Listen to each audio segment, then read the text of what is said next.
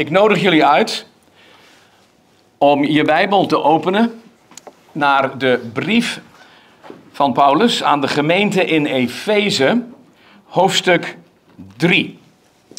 En daar wil ik met jullie graag kijken naar een gebed dat Paulus voor de gemeente in Efeze bidt. Maar aangezien dit gebed in de Bijbel staat, is het eigenlijk een gebed voor de gemeente door de eeuwen heen.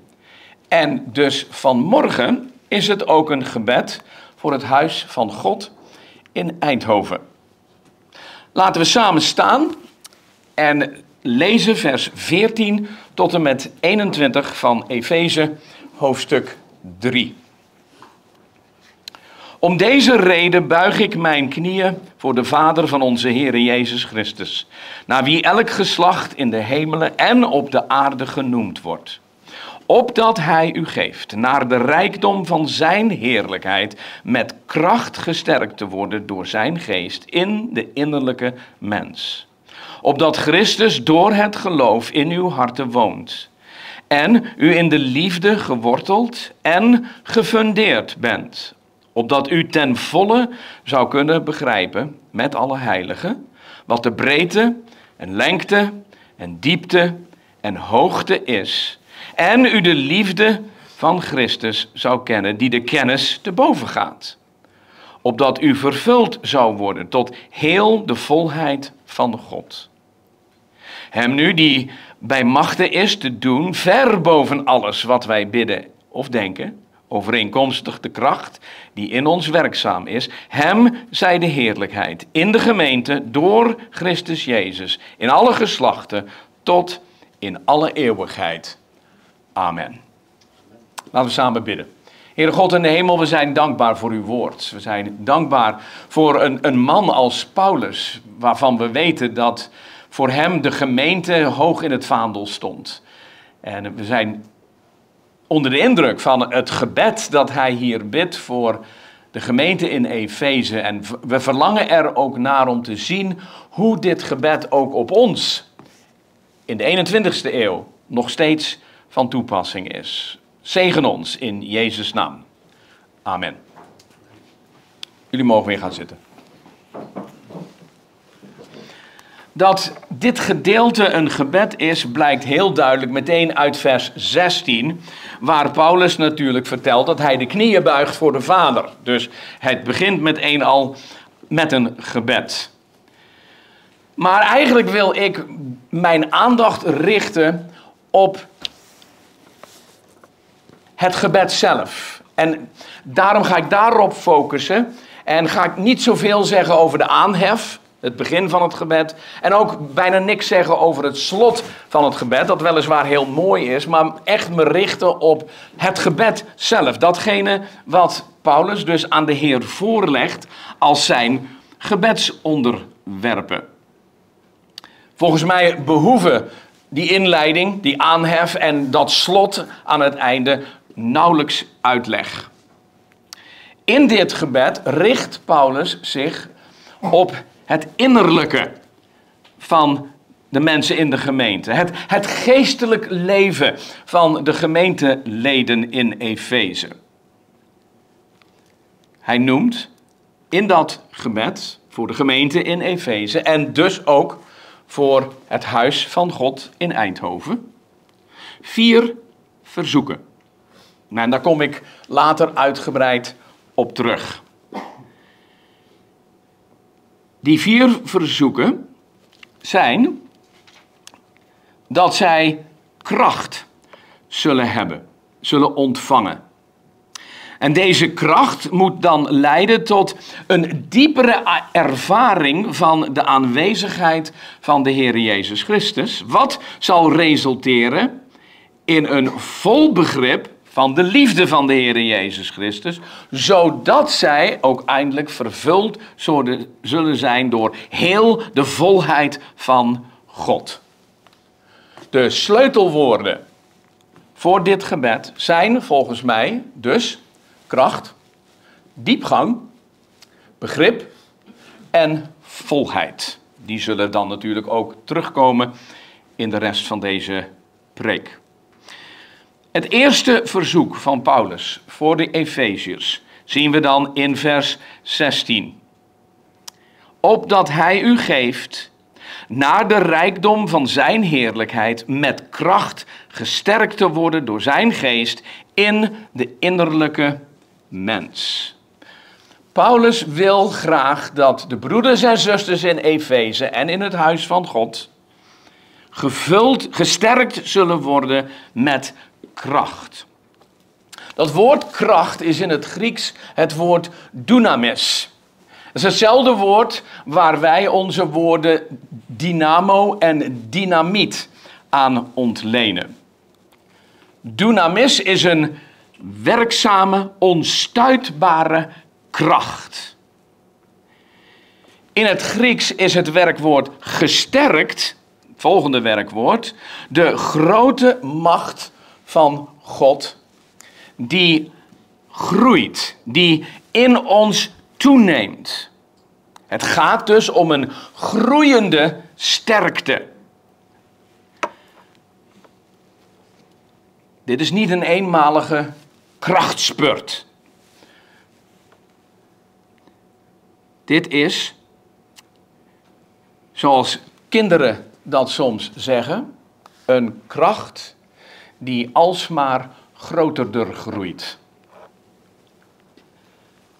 Wat de gemeente, wat jij en ik nodig hebben, is Gods onstuitbare kracht. Niet in het uiterlijke, maar die in ons alsmaar toeneemt. In welke mate wil Paulus dat de broeders en zusters in Efeze met kracht gesterkt zullen worden? Nou, hij geeft ons het antwoord. Naar de rijkdom van zijn heerlijkheid. Let goed op. Paulus zegt niet uit de rijkdom van zijn heerlijkheid. Hij zegt naar de rijkdom van zijn heerlijkheid. Stel dat een miljonair jou een envelop met inhoud geeft. En wanneer je die open doet, vind je daar 100 euro in. Op dat moment heeft die miljonair jou gegeven uit zijn rijkdom. Maar als jij die envelop open doet en je vindt daar 100.000 euro in, dan heeft die miljonair jou gegeven naar zijn rijkdom. Voel je het verschil? God sterkt de broeders en zusters in het huis van God, in de innerlijke mens, met zijn onstuitbare kracht naar de rijkdom van zijn heerlijkheid. Kom je dan ooit kracht tekort om te kunnen kiezen voor Hem te leven? Natuurlijk niet. Paulus gebruikt in zijn tweede verzoek, in vers 17, drie voorbeelden opdat Christus door het geloof in uw harten woont en u in de liefde geworteld en gefundeerd bent.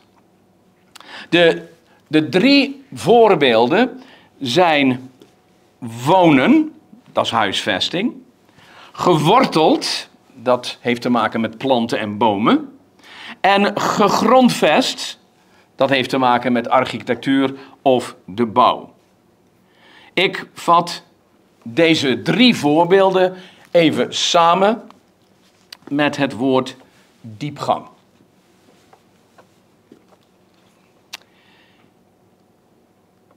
Met het begrip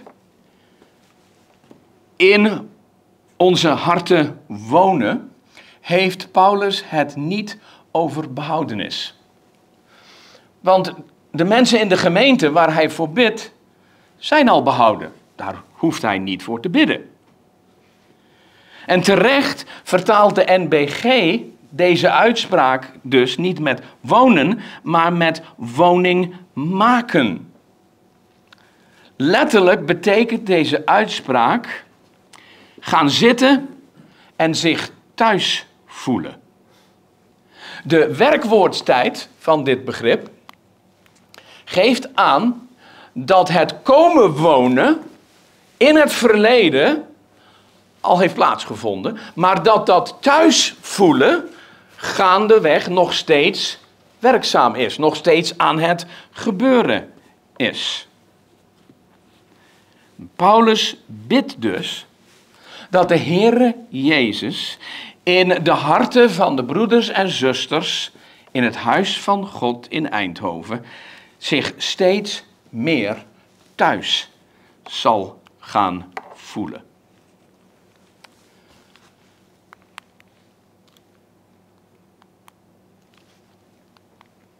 Het tweede voorbeeld heeft te maken met planten of met bomen.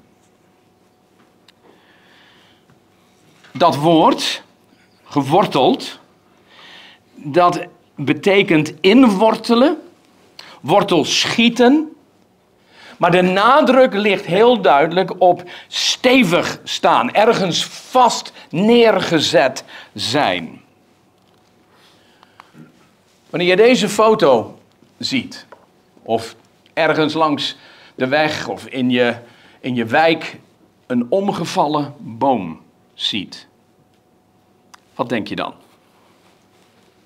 Ach, die boom was niet opgewassen tegen de stormwinden van vannacht. Zijn wortels waren niet diep genoeg. Jammer. Dat is waarom het zo belangrijk is dat wij diep geworteld zijn. Waarin moeten we geworteld zijn volgens het gebed van Paulus? Nou, in liefde.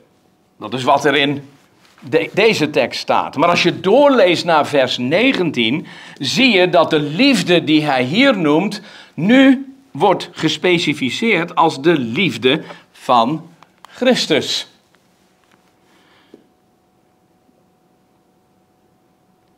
Negatieve omstandigheden in het werk, in je gezin, op school, zelfs in de gemeente, doen niets af aan de liefde van de Heere Jezus Christus. alle leden, alle broeders en zusters van het huis van God, moeten, net als de Efeziërs, persoonlijk ingeworteld zijn in de liefde van de Heere Jezus Christus. Het derde voorbeeld van Paulus komt uit de architectuur, of misschien beter gezegd uit de bouw. De enige reden dat de wolkenkrabbers in New York City niet omvallen, is omdat zij een enorm diep fundament hebben in een ondergrondse steenlaag. Die steenlaag ligt in sommige delen van Manhattan op 10 meter diepte, maar op andere, in andere delen van Manhattan op 50 meter diepte. Zo diep moet het fundament van deze gebouwen staan zodat deze wolkenkrabbers niet omvallen. Hoe zorg je er nou voor dat het huis van God in Eindhoven niet omvalt? Door er persoonlijk voor te zorgen dat je sterk gefundeerd bent in de liefde van Christus. Dit tweede gebeds verzoek van Paulus komt dus neer op een verzoek dat Jezus in het hart van de broeders en zusters van de gemeente zich thuis zou voelen, dat hun wortels diep zich uitstrekken in de liefde van de Heer Jezus Christus en dat ze gefundeerd zijn voor hun gemeenteleven in de liefde van de Heer Jezus Christus. Met andere woorden, Paulus bidt voor diepgang. Die goddelijke kracht, waar hij als eerste voor bidt, die groeiende diepgang, waar hij als tweede voor bidt, zal volgens het derde onderwerp dat Paulus aanhaalt, leiden tot een groter begrip van de liefde van de Heer Jezus Christus. Kijk maar naar het derde verzoek van Paulus in vers 18 en het eerste stukje van vers 19. Opdat u ten volle zou begrijpen met alle heiligen wat de breedte en de lengte en diepte en hoogte en u de liefde van Christus zou kennen die de kennis te boven gaat. Ik begin even met het woordje begrijpen. Dat is waar Paulus om vraagt. In, in de NBG-vertaling is dat het woordje vatten. Het Griekse woord bestaat uit het voorzetseltje mee en het werkwoord ontvangen. Wanneer iets mee ontvangen wordt, dan wordt het dus als eerste ontvangen, vastgegrepen, tot zich genomen, beetgepakt. En daarna wordt het dus meegenomen om het nooit meer los te laten. Stel je een vierjarig meisje voor. En die krijgt voor haar verjaardag een pop. En zij vat deze pop. Zij grijpt deze pop zodanig vast dat ze hem nooit meer los wil laten. Ze neemt dat ding overal mee naartoe. Naar de peuterspeelzaal, aan tafel, naar bed, boodschappen doen met mama, zelfs naar de kerk. Dat ding gaat overal mee naartoe. Dat is wat dit idee meevatten, mee ontvangen wil zeggen. Zij heeft haar pop meegevat. Wat moeten we meevatten? Ik lees het nog een keer. De breedte, de lengte en diepte en hoogte van de liefde van Christus.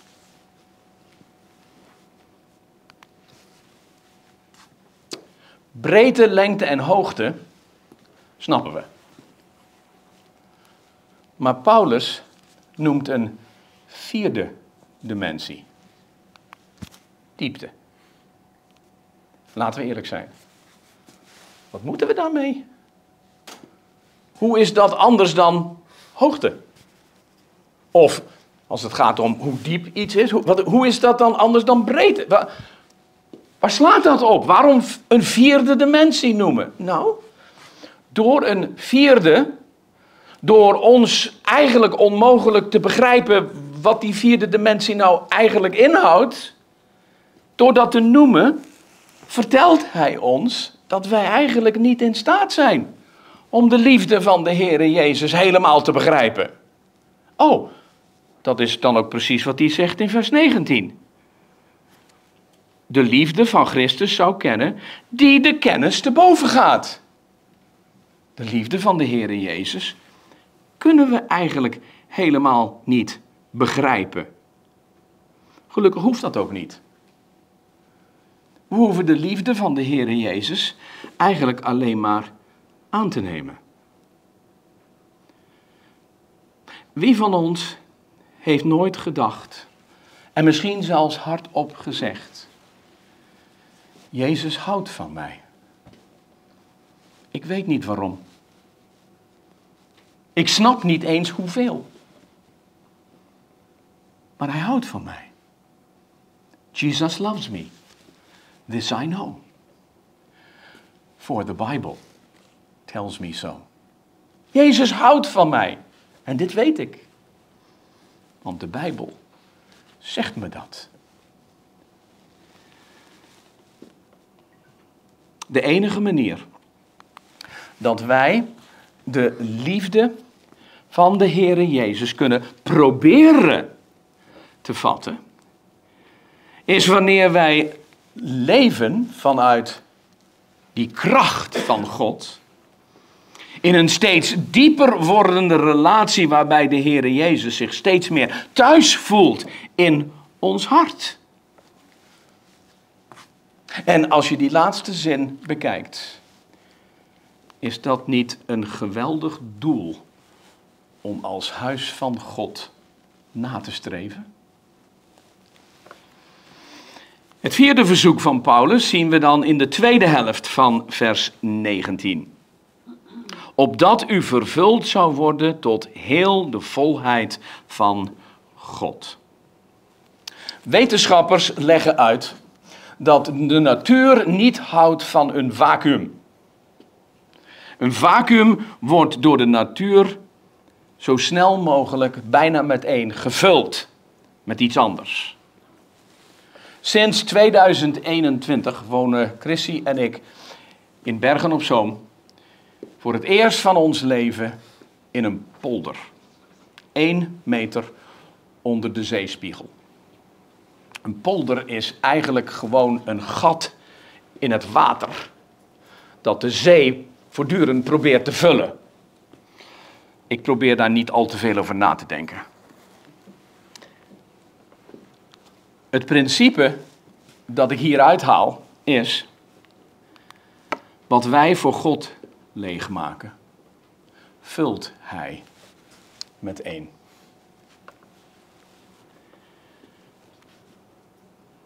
Het bronwoord dat vertaald is met vervuld, betekent vol. Sorry, ik zit op de verkeerde plek in mijn aantekeningen. Paulus gebruikt in de volgende uitspraak, vervuld met de volheid van God, eigenlijk twee keer hetzelfde woord. De ene is een werkwoord, plerao, en de, de andere is het zelfstandig naamwoord dat daarbij hoort, pleroma. Letterlijk zou je de combinatie van deze twee woorden kunnen vertalen met gevuld met al het vulsel van God.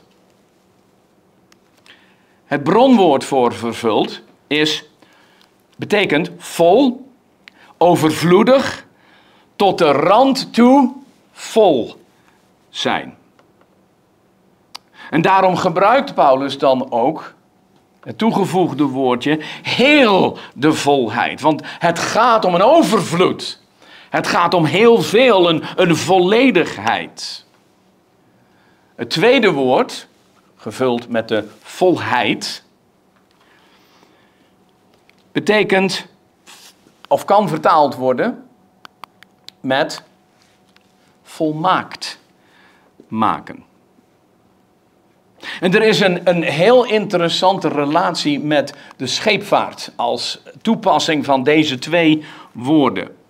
Eh, het, het eerste woord ten aanzien van de scheepvaart is dan een schip dat gevuld is met zeelui, uh, roeiers. Uh, met andere woorden, de bemanning van dat schip is compleet. Het tweede woord voegt dan de rest van de inhoud van het schip toe. Dus de vracht, het koopwaar, de proviand. Zo'n schip is klaar om de haven te verlaten en aan de slag te gaan. De gemeente waar Paulus voor bidt, zal bij verhoring van zijn gebed dus volmaakt vervuld zijn door al het goddelijke vulsel dat nodig is om aan de slag te gaan. En dat komt omdat die broeders en zusters van die gemeente vervuld zijn tot heel de volheid van God. Mijn schoonvader zei af en toe: Als jij ooit een volmaakte gemeente vindt, word dan alsjeblieft geen lid van die gemeente. Want op het moment dat jij lid wordt van een volmaakte gemeente, is meteen die gemeente niet volmaakt meer. Er zit een kern van waarheid in. Elke gemeente bestaat uit onvolmaakte leden. En daardoor lijkt het gebed van Paulus veel te hoog gegrepen te zijn. Dat kan toch niet? En toch meent Paulus duidelijk dat het voor de gemeente in Efeze en dus ook voor het huis van God in Eindhoven mogelijk moet zijn. Want anders had hij dat gebed niet gebeden. Als jij niet gelooft dat jouw gebed verhoord kan worden, dan bid je het toch niet? Maar sterker nog dan dat, de Heer weet dat dit gebed, wat Paulus bidt, mogelijk is. Want anders zou dit gebed niet in de Bijbel staan. Want dan staat er dus in de Bijbel iets dat niet kan. Dat niet klopt. Het moet mogelijk zijn. De Heer weet dit. Bovendien staat er in het prachtige slot van dit gebed dat de Heer bij machten is te doen ver boven alles wat wij bidden of denken, overeenkomstig de kracht die in ons werkzaam is. Dus het kan wel, al is het hoog gegrepen, maar niet te hoog gegrepen. Vier gebedsonderwerpen heeft Paulus gebeden. Kracht, diepgang, begrip, die alle drie nodig zijn om die volheid te bereiken. Een interessante vraag is natuurlijk, werd dat gebed van Paulus verhoord?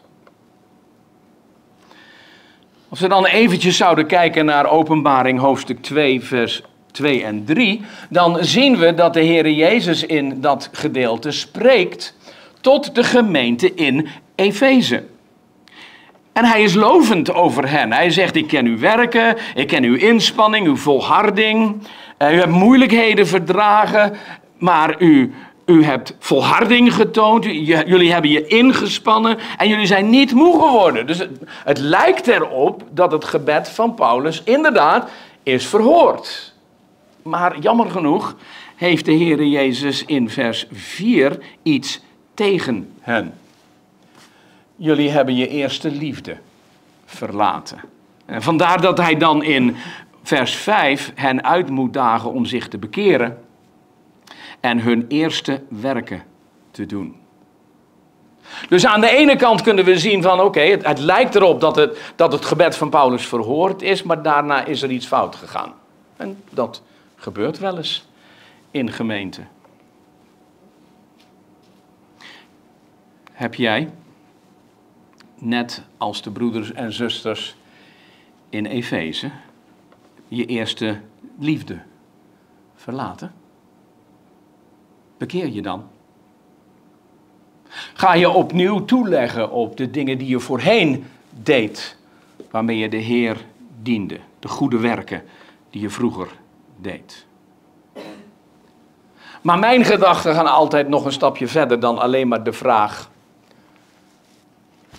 werd dit gebed verhoord. Ik vraag me dan af, stel dat Paulus dit gebed nog steeds bidt. Intussen niet meer voor de gemeente in Efeze, maar voor het huis van God in Eindhoven. Kun je dat voorstellen? En dan zijn daar weer een aantal vragen die ik vanuit dit gebed van Paulus, dat we net bestudeerd hebben, me afvraag.